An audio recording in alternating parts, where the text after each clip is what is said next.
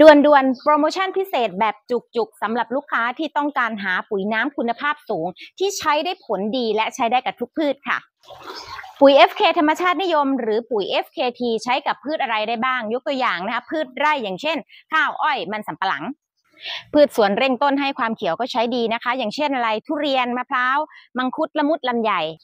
พืชที่ปลูกในบริเวณบ้านนะคะ อย่างเช่นไม้ดอกไม้ประดับไม้มงคล หรือมะพร้าวที่ปลูกด้านหลังนะคะ ก็สามารถใช้ได้ที่สำคัญปลอดภัยไร้สารพิษด้วย สำหรับลูกค้าที่สนใจสั่งซื้อสินค้าวันนี้นะคะ มีโปรโมชั่น ซื้อ FKT หรือ FK ธรรมชาตินิยมขนาด 1 ลิตร รับฟรีทันที FK ธรรมชาตินิยมขนาด 250 ซีซี 2 ขวด เท่ากับวันนี้ลูกค้าสั่งซื้อขนาด 1 ลิตร ได้ไปเลยทั้งหมด 3 ขวดค่ะอัตราส่วนการใช้ 25-50 ซีซี ต่อน้ำ 20 ลิตร จะผสมน้ำราดลงโคนหรือผสมน้ำแล้วก็พ่นทางใบก็ได้ค่ะ จะใช้กับระบบน้ำหยดหรือใช้กับบินโดนพ่นก็ได้เช่นกันค่ะ ทั้งขวดใหญ่ขวดเล็กนะคะ ฝาตรงนี้จะเป็นที่ตวงนะคะ ที่ตวงนี้มีขนาด 50 ซีซี ถ้าเราใช้ 25 ซีซี ก็คือครึ่งฝานี้นะคะ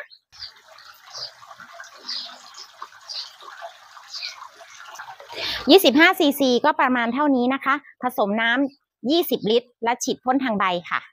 ปุ๋ย FK ธรรมชาตินิยมใช้น้อยและประหยัดขนาด 1 ลิตรนี้ใช้ผสมน้ำได้มากถึง 800 ลิตร ใช้ได้ในพื้นที่ประมาณ 10 ไร่เลยค่ะ